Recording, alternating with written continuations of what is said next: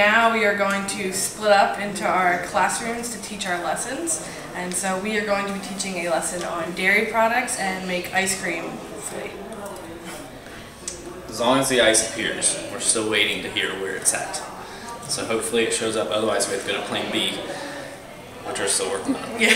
Okay. And what are you nervous about? I'm not nervous. I'm excited. It went really well. The kids love the ice cream. They love making the ice cream.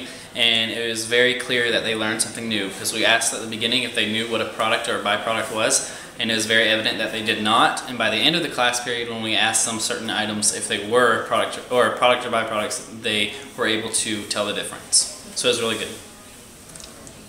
Yes, it was a rocking lesson. Um, very exciting, and all the students were happy to engage in the class to make ice cream, and it was tasty.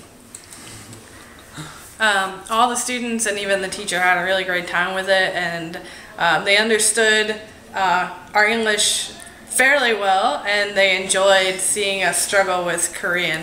Um, so that was that was really fun time.